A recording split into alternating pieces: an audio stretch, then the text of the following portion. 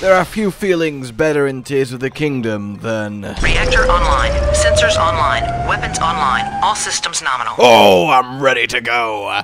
And you too can get 9 to 10 extra battery segments in less than an hour with, well, the following method, journey, adventure that I will guide you through. Because in the deep dark depths, there is a select few locations, the large abandoned mines. And in each of those locations, there is very specific things you can do, loot you can acquire, secrets you can uncover that result in massive amounts of crystallized charge very quickly, on top of loads of Poe, hell, even rupees, food, useful items, and not to mention a whole load of schema blueprints, of which quite a few of them are actually ridiculously useful to have in your back pocket to whip out with auto build. At least when you use them better than I do. Oh no! So, what's the best, fastest, and easiest way to get to all these great mines and plunder their booty? Well, I be telling ye. First and foremost, you want to unlock and grab auto build if you haven't, and in doing so, you will get to your first mine, the Great Abandoned Mine. If you've somehow not done this yet, you want to go down the depths hole that's on the Great Plateau, do a quick bit of traveling in the dark, and you will arrive, activate the panel, and you'll be gifted auto build. As we know, this lets you save your uh, builds and recreate them from pure zonaite out of thin air, or just automatically put them together if the parts are already in front of you. Incredibly useful. This then will also start a quest that we care very much about, and that is to do with the Yiga clan and its majestic, glorious leader, Master Kohga you auto build uh, the uh, little vehicle next to where you got auto build, you will activate all of this and start your first boss fight with Master Kohga. You want to beat him, which is easily enough done. You just shoot him off the car and then whack him on the ground and repeat ad infinitum, and you will be gifted your first of many that we'll be getting today. Huge crystallized charge, which is worth a whole battery segment by itself. So, we are going to complete this quest as it will take us around a good handful of the mines that we're after visiting anyway with added rewards. So next up we want to go to the mine beneath the Gerudo Desert and you can do that fairly easily from the Skyview Tower that governs that area, head up and then south there is the entrance that we are after. Once we get down here grab the close Lightroot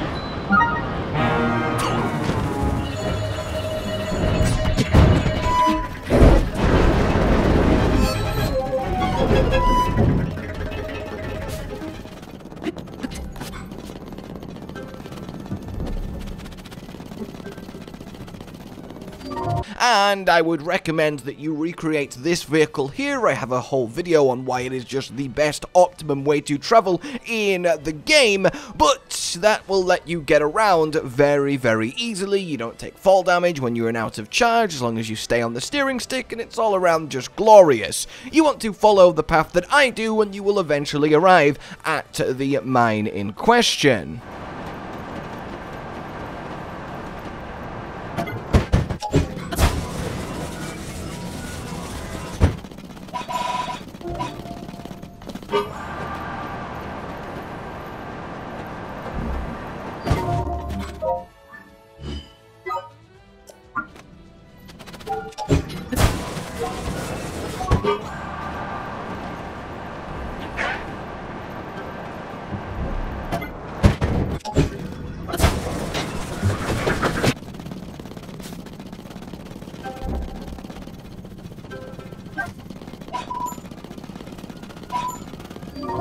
The abandoned Gerudo mine. Grab the nearby Lightroot so that you can, you know, see and also have a teleport back here.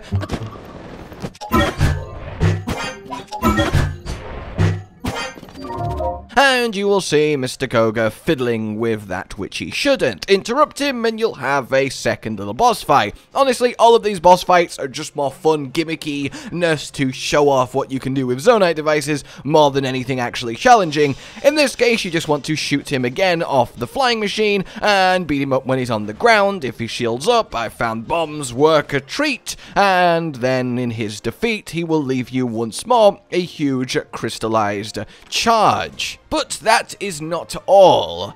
Also, now at each of these abandoned mines, you can talk to a construct that will give you a schematic, a schema stone. This will give you a nice new device to add to your collection, and as I said, some of them are very good. But beyond that, every single time you get one of these, you get the parts to immediately build it, which you want to do because it's set up in a way that if you do, it will immediately lead you to a chest filled with some more crystallized charge. Sadly, not the huge variety, but the large one, and this is worth 20, so obviously 5 of these and another battery section is ours.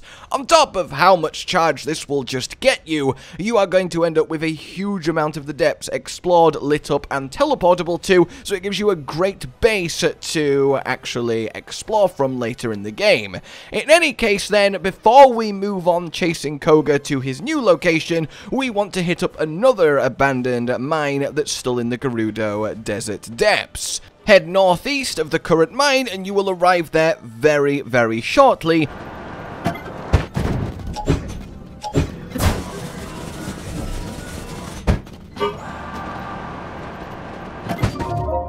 and when you do, you will be greeted with some more rewards to get, and of course a new Schema Stone. The first reward being the Miner's Mask in the chest in the center, which makes you a permanent light source, which is obviously very useful, and then uh, the scaffolding pop-up that we can use to uh, then swim up twice in order to get to our next uh, large crystallized chest. And as I said, there is huge amounts of Poe around all of these places, including plenty of Grand Poe too, which is obviously very useful to have. Now we are ready to chase down Master Kohga, and his next location is the abandoned Lanayru mine.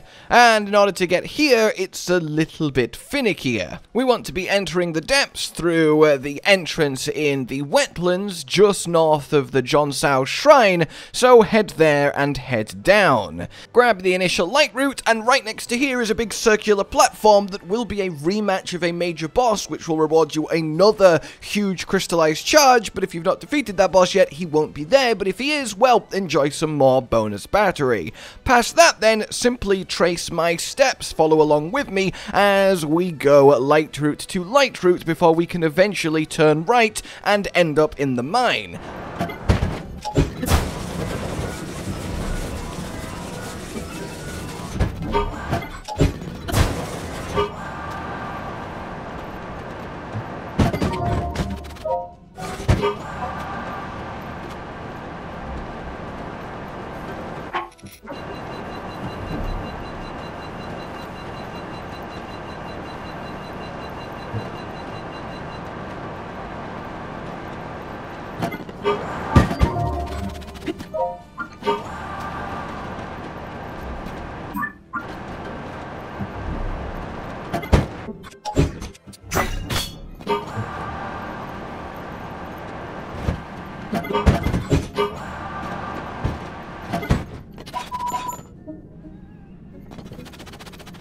you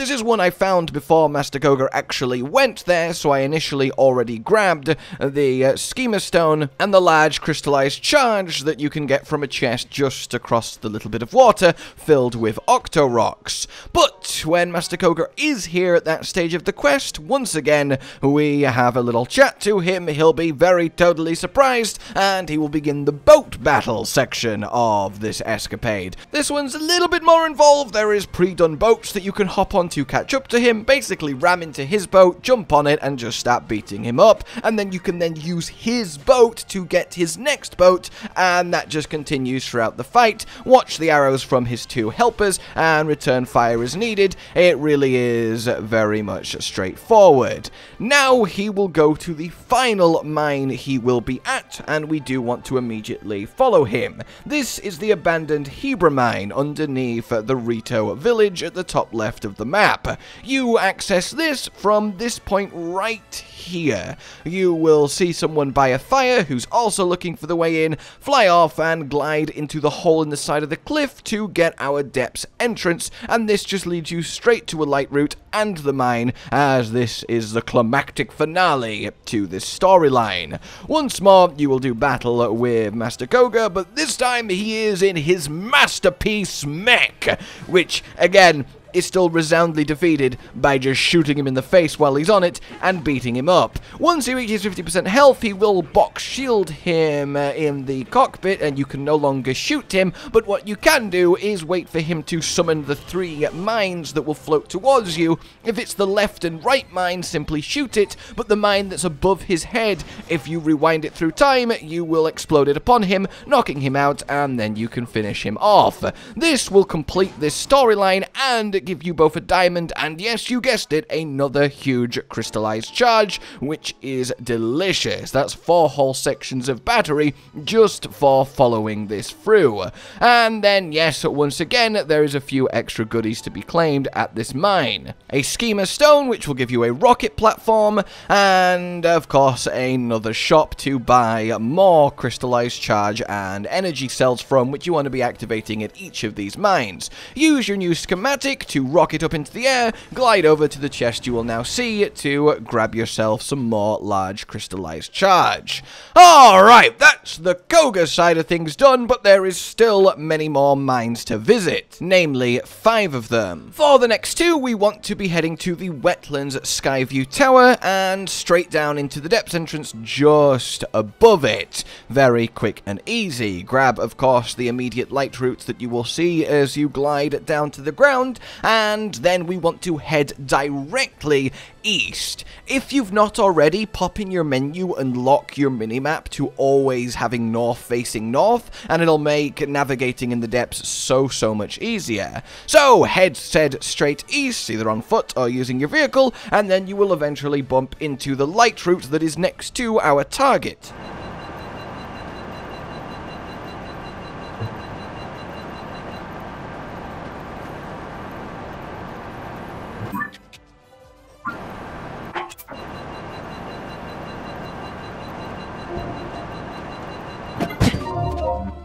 The abandoned Hateno mine. Here, once again, you will be given a schema stone, and once again, a shop to unlock, and once again, if you immediately use the uh, schema stone you've been given to build the long, long bridge.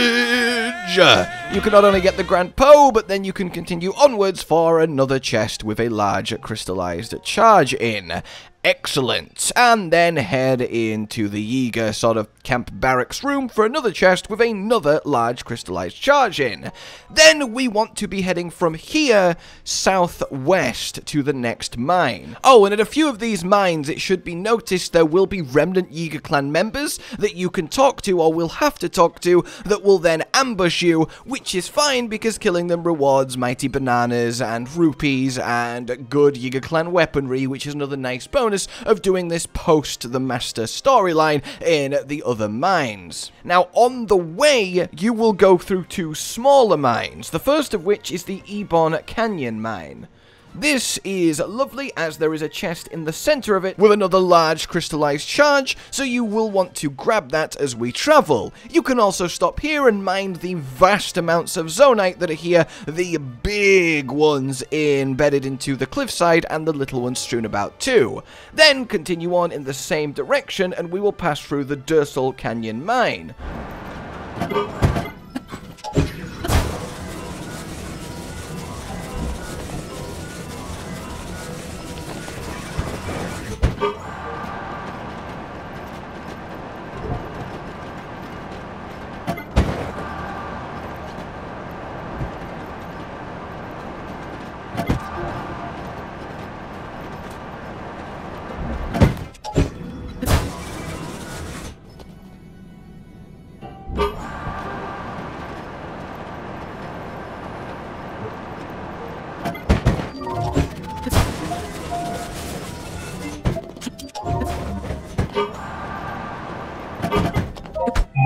Once again, there is a large crystallized chest here in the center, a Lightroot next to it, and loads more zonaite to mine if you want to. We then carry on in the same direction, get the Mimufis Lightroot, which overlooks the next abandoned mine, the Lurelin mine.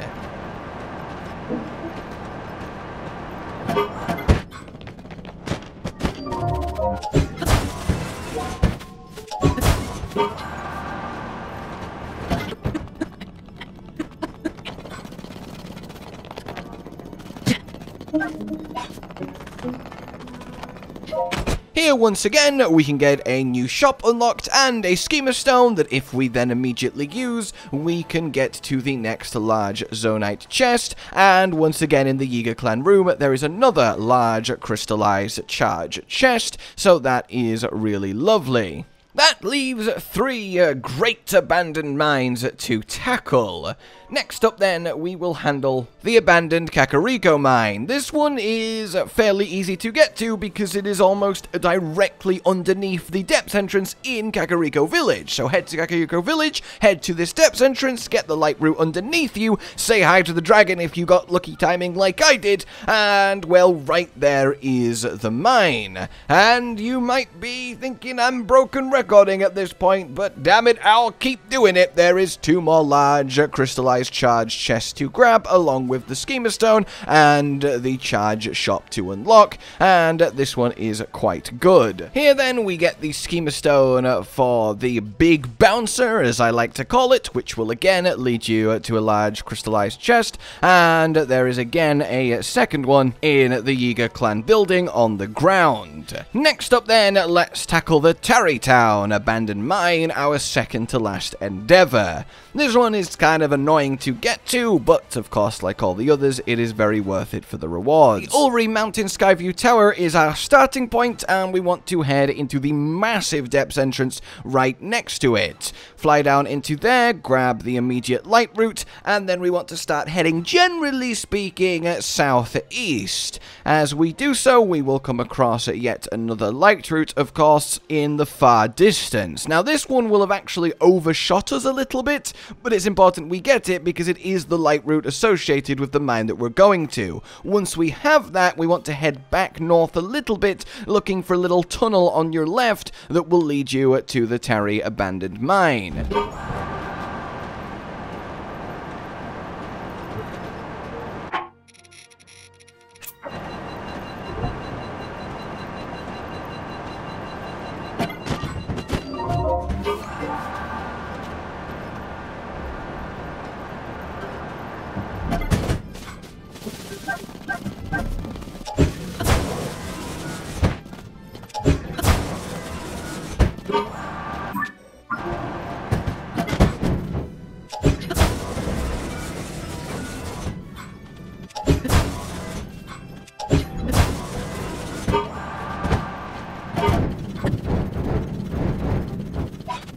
Once we make the way through the tunnel, ideally in a much less mess of a manner than I managed to pull off, you will find yourself drowning in Poe, another shop to unlock, and another schema stone to get given. This one is supposed to be a mining device that I blew myself up with, but get through the rocks however you can, and you will get to a large crystallized charge chest. Sadly, only the one here. Finally then, the most awkward one, and the kind of most dangerous one, because if you go here unprepared, well, you might burn to death just a little bit kinder. So step one, if you want to get this final abandoned mine, which does only have one large crystallized charge in, but it is in an area filled with chests with other goodies, so depends how you're feeling. You want to go to Goron City and buy two out of three pieces of the flame resistance armor set, so you no longer set on fire when you come down here beneath the volcano.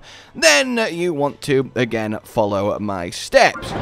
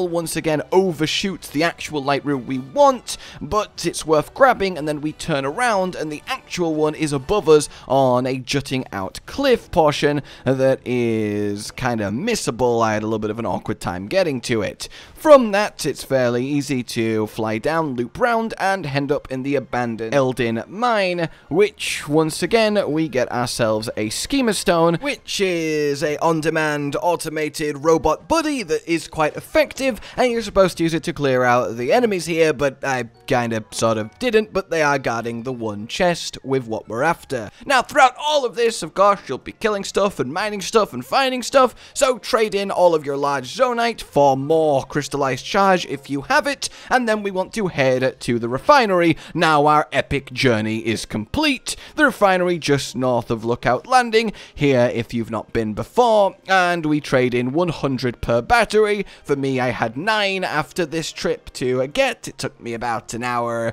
to do, and that was with kind of fumbling about in the dark literally a lot of the time. I'm sure you guys will be able to do it much quicker with, well, now the direction that I hopefully have given you, and then seeing all that batteries up is absolutely delicious, and I think this is very much worth doing as a starting point before you do the usual farming methods of getting the battery up, like mining large zonaite, like killing bosses for charge, like uh, doing all the little activities that are in the depths that reset once a blood moon to get you more crystallized charge, or at least the materials to get more crystallized charge with.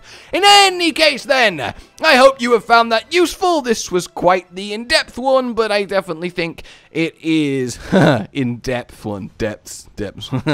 but I definitely think it's very worthwhile and quite the good way to kickstart both your battery and your depths journey. For now then, like if you enjoyed this, subscribe and hit the bell for more. Consider supporting the future of the channel on Patreon down below. And until we meet again, goodbye. Josh, Cotton, and Hollow with the videos, dropping the humor like a hammer on your tippy toes, bringing entertainment on a daily arrangement to take our insanity and turn it into entertainment. Yes, I said entertainment twice to reiterate that it is nice to look into your faces on a mostly daily basis when you let us in your homes to make the whole world a stage. Is uh goodbye.